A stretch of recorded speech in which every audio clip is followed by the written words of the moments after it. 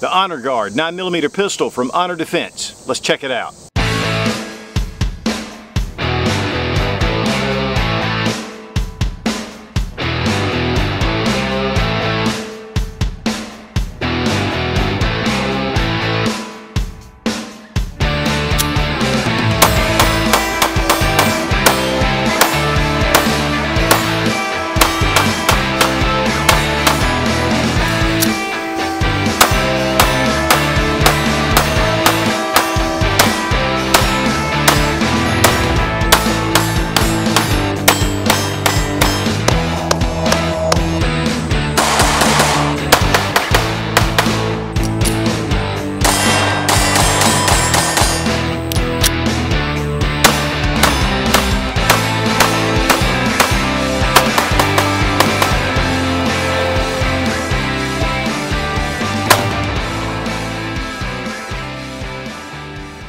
Number of people that are concealed carrying in the United States has grown over the past few years and is continuing to grow. And because of that, a lot of the gun manufacturers are designing guns to fit that niche. Something that is very comfortable and thin, uh, which makes it really nice for concealed carry holders, especially if you're carrying all day. Uh, but also something that's a decent size to be able to enjoy when you take to the range. And if you ever need it for self-defense, uh, it's very shootable and manageable. And there are a number of different options out there and more to come. Uh, but this is a brand new pistol from 2000, the end of 2015, and this is the Honor Guard from Honor Defense. Gary Ramey, formerly of Beretta, uh, is heading the company, and then Adam Walker, who is an engineer, formerly from Remington, uh, came together and consulted a lot of law enforcement, military, uh, women shooter rights, trainers, uh, trying to come up with a pistol that took all the what was available so far and to really make a pistol that incorporated a lot of those different features. And so here we have the Honor Guard. Uh, first thing we're going to do is go ahead and make sure the gun is unloaded. So we're going to drop the magazine, check the chamber, and it is unloaded. Uh, it does come with two steel magazines, a 7-rounder and an 8-rounder with an extended base plate. Now this is definitely reminiscent of, and to me the first thing I thought about was the Shield but obviously there's some departures from that. And one of the big things is this grip. Uh, the texturing on this grip is just really exceptional.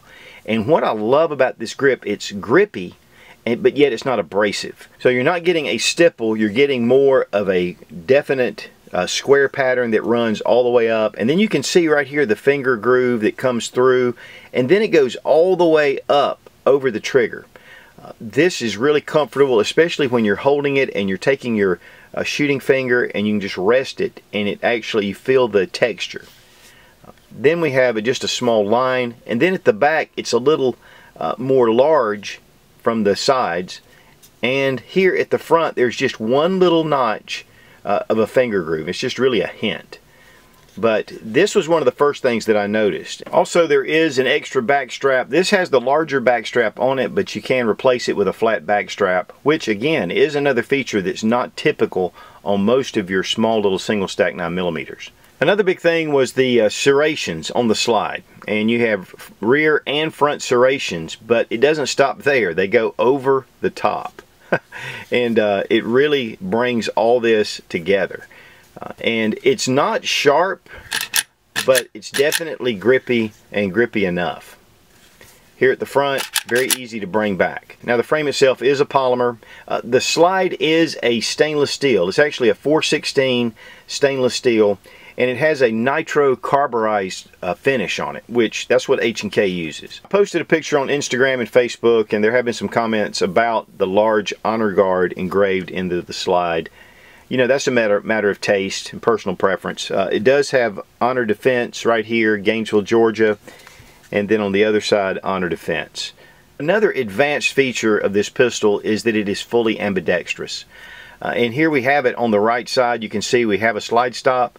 We have a magazine release, even on the right side, and of course, obviously, on the left side. Uh, the magazines do pop out really fast, and uh, it is drop free. Here we have a place for an optional safety. If you want a frame safety, of course, I didn't want the frame safety. And so we have plugs here and here. But if you want the frame safety, it is ambidextrous as well. Everything fits really close uh, to the frame. Now here we have our takedown lever, which is pretty large, but again, it really rides close to the frame as well. One really advanced feature is that the barrel is crowned and that really helps in case you damage the muzzle of your barrel. Uh, it's not going to nick right here in the rifling. The magazine release is metal. The trigger is also metal. Uh, your sights are aluminum. Uh, and speaking of sights, we have a three dot sight, two at the rear, and then here at the front you have a large orange dot. So this gives you a really good contrast. Uh, also there's a small cocking shelf right here uh, in case you have a one-handed reload and you can cock it right here but then it's smooth on the top. The sights are also compatible with Glock 43 sights. So there's a ton of different sight combinations on the market uh, if you want to change these sights out. Now the barrel is 3.2 inches in length on the compact model. Uh, they do make a little bit larger model that has a 3.8 inch barrel and it does have an accessory rail. One of the things they do too is they have this one model called the fist frame and the frame actually comes out about an inch and I'll have a picture right here for you to look at. If you're in a critical situation where you are actually touching someone, you're engaged, uh, if that slide is moved at all, there's no action with the trigger. And so with that little extension, it allows you to put the gun right up to the, you know, whoever's attacking you and you can pull the trigger and it will fire. It won't be out of battery. But now when you first look at this pistol, you think shield. At least I did. I mean, I thought that immediately. Uh, and as you can see, it's really exact. I mean, as far as the size, I mean, the trigger guard, uh, the length, the, the length here, the height. I mean, everything is really close. Now, that seems like that that would be what this is. It's just a shield clone. Uh, but I'm going to show you some things other than the features that I've already shown that are really uh, advanced over what the Shield has just on the outside. I mean, that's the front slide serrations, the ambidextrous features, and um, you know the grip texturing. But the interior is completely different, and we're going to look at that when we break it down. The Honor Guard has a little higher bore axis, and if you'll look right here where you bring your hand, the web of your hand here, it does ride just a touch bigger or a touch taller. It's 6.2 inches in length, it's 4.6 inches in height, and it's just under an inch in width. Uh, but again, it's just about the same dimensions as your standard shield. Now the weight on the Honor Guard, 22.7 ounces. The weight on the shield, 20.2 ounces. Now one question that I had was do Smith & Wesson magazines work in the Honor Guard because they look really close. Uh, and unfortunately they don't. Uh, if you'll notice the catch here at the front's totally different uh, than the mag catch holes here. In fact this won't even feed into the magazine well. But yet the Smith & Wesson will, but it's loose and it doesn't catch. Now, of course, one question is, is are you going to be able to get holsters? What kind of aftermarket support on these pistols? I mean, the Glock and the Shield have been around for a while. One of the cool things about this pistol is that there are a number of companies that are making holsters uh, for the Honor Guard. Uh, DeSantis, Galco, Alien Gear, uh, Crossbreed, and others. You can go to their website and see the list of different companies. In fact, uh, Crimson Trace has a laser uh, for the Honor Guard. As far as magazines go, uh, they are only available right now on the Honor Defense website. They run about $35. Uh, so not too bad for the price of the magazine. But as this pistol grows, and again, this is not even a year old, uh, and so it's a really new product, and yet it's already getting a lot of support in the industry. We're going to check the trigger pull. We're going to make sure the gun is unloaded, magazine's been removed. So we have a little take up, a little stacking, and then a nice crisp snap. Uh, very solid. Reset about right there. We're going to take our Lyman trigger gauge and check the trigger pull. Seven pounds. Seven pounds, 0.5 ounces. And that's pretty much what uh, the Honor Guard, uh, Honor Defense claims, is about seven, seven and a half pounds. good for a self-defense trigger. So let's disassemble the pistol, remove the magazine, uh, bring back your slide all the way back. Now another thing that does differentiate the Honor Guard is that you don't have to pull the trigger for disassembly. Uh, now the shield does have a lever inside that you move. The Glock, you have to pull the trigger. With this, there's not a lever and you don't have to pull the trigger, which I think that's an advantage. Uh, now that we have the slide in the rear position, bring down your takedown lever, like so, and then release your slide stop and the slide assembly comes right off. Now here we have your dual recoil spring and uh, it is a metal guide rod. It is a little bit, there we go, it comes right out. It's not captured. And uh, But one of the things about this guide rod is that it is 410 stainless and it has a PX5 finish, which is a very tough and durable finish. Uh, and then we have our barrel right here. And again, this is 416 stainless, uh, and this has been nitrocarburized. The finish on the inside is very well done. Uh, here we see the striker assembly right here. And um, this is really just a very finely finished piece. And to give you a comparison, here is the shield slide. And you can see that even though there are some similarities with the striker, there's definitely some differences uh, with the mechanism and the way it's set up. Here is the Honor Guard barrel, and here is the shield barrel. Recoil spring, recoil spring.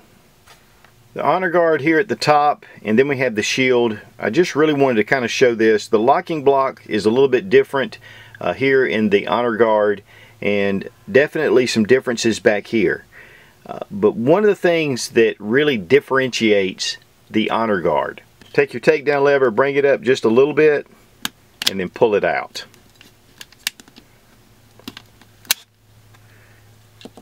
Then take your locking block and the whole assembly comes out. This is more in line with the SIG P uh, 320. It's a modular system. This is, is the gun. What's really cool about this is that you can change this out to different frames. Now see the frame is completely, it's just polymer now. Uh, so we can take this module and put it in a different frame, uh, maybe even coming up with more calibers. You can change this out. And this is going to make it really easy, especially for guys that have a, you know, there's a lot of processes that go into purchasing a gun, especially the states that are not so free. Um, and this gives you a great option to be able to have different guns uh, with one little system. This is stainless steel. It's very well made and obviously it's very modular. To reset it in, there's some hooks. Go to the back of the frame. Set it into place. There's a little bit of work just to get this started, your takedown lever, and you just have to kind of fish it through. And there we go. It's in place. But that makes it really simple to clean. And again, the design here is an advancement over the Glock or the Smith & Wesson. This is more in line again with the SIG. For reassembly, just throw in your barrel. Uh, one of the things about the recoil spring is you want to make sure that the open areas are on the side. And this is just a little bit of a trick to get this in, especially behind the camera. There we go. It's in place and then just return it to your slide. Hit your slide stop, bring the lever back. You're ready to go. Another thing is there's no magazine disconnect on this pistol, which I love. Now one thing to note is that the slide stop is really recessed, uh, which will keep you from snagging it, but it's also difficult to get to if the slide is in the rear position, um, really getting a hold of that, it's a very, it's pretty difficult. And uh, but most trainers now are saying you need to do a you know a slingshot type thing using uh, your slide to feed, and that's really what I do. It's very rare that I actually hit uh, the slide release. As far as at the range, I shot about 150 rounds of uh, American Eagle and some SHT Full Metal Jacket Federal Premium defense loads. Um, not any hiccups, no bobbles, um, nothing. The only thing that I had any kind of issue with was sometimes the trigger reset. I didn't want to, I thought I had it reset because I've been shooting a really short reset trigger lately. And so it kind of threw me off a little bit. Once I got used to it though, it was fine. uh, but it is one thing you want to watch.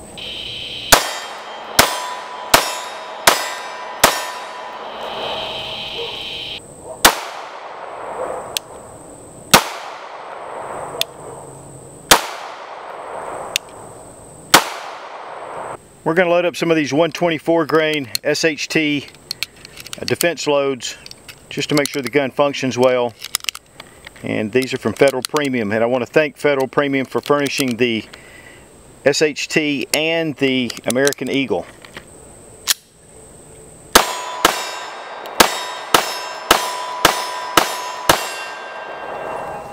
I was shooting this Federal SHT and the first thing that I shot was this target and every one of them was right here in this little hole.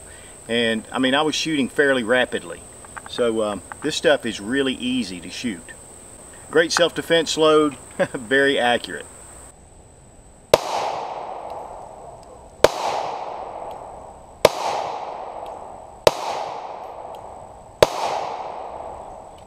This is an excellent pistol for self-defense. It's very thin, very small, and uh, you know, it has a lot of great features that some of the other single stack 9mm that are on the market just don't have. I think it pulls them all together. And so, uh, very ergonomic little pistol. Uh, pulling back the serrations on the slide were very well done. Uh, of course, the one thing is that slide release, you're going to have a hard time actuating the slide release because it's so recessed. And so, using those serrations, you're going to do a lot. Now the box is just a cardboard box made in the USA um, and we get all of our instructions and different things, a sticker. One of the things they do recommend is that you have a break-in period of 150 to 200 rounds. And um, of course the pistol is just a basic foam, not anything very special, which helps keep the price down.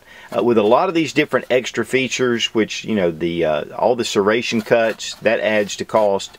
This grip adds to cost, the modular system, uh, the ambidextrous controls, and so and if you're like me, I don't usually keep my box. I don't keep my pistol in my box. Um, it does come with a little small flag, uh, and it does come with a lock, which is typical. But one of the things I want to mention about this pistol, since I had the lock out, the lock is made, uh, it is an imported piece.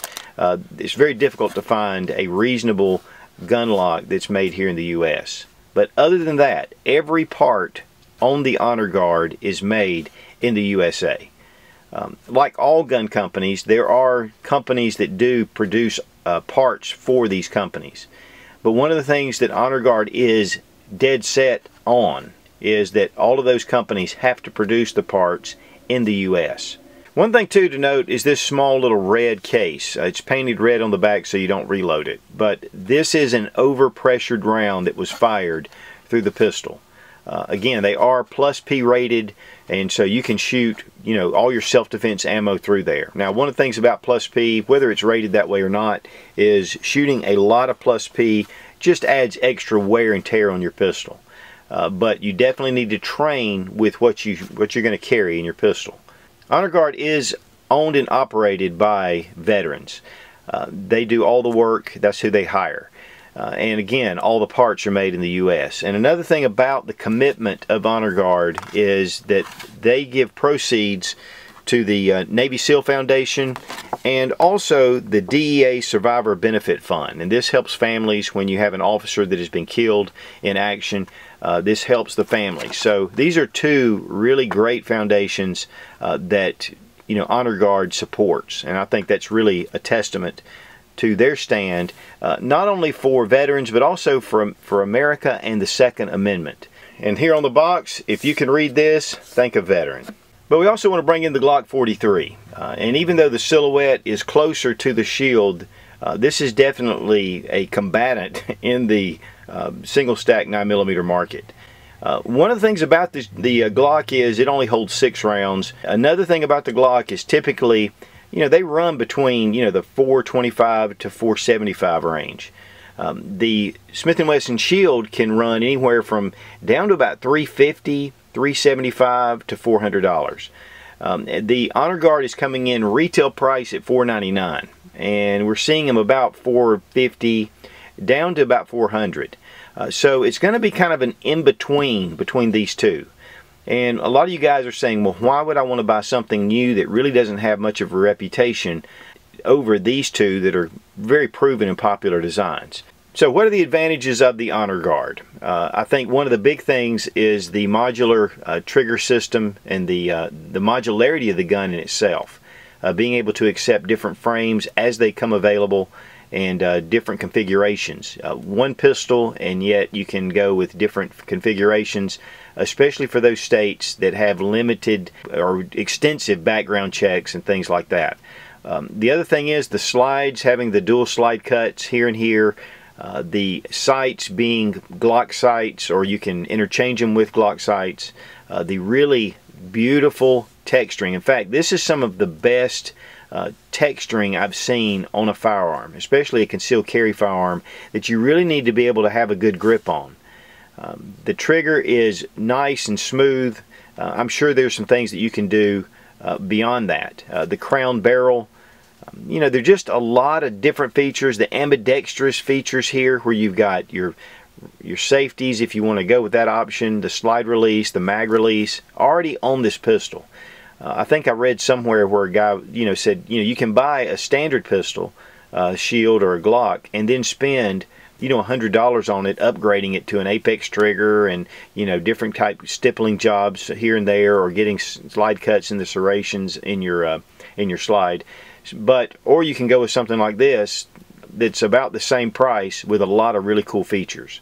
So check out the Honor Guard and put it next to your Shield or your Glock and just feel the difference uh, check out the way they feel and they shoot. And I think you'll be surprised at how much this little pistol can really appeal to you. I'll tell you, I, I love it. And um, it's been a lot of fun to shoot. And so I'm looking for more uh, with this. We're going to get more in depth with the shield comparison, which I like to do, and a lot of guys seem to like that as well. And we'll probably bring in the Glock 43 in there and, and do some side-by-side -side shooting and things like that, just to help you make a good decision on the pistol that you want to carry. So the Honor Guard 9mm pistol from Honor Defense, thumbs way up. Be strong, be of good courage. God bless America, long live the Republic.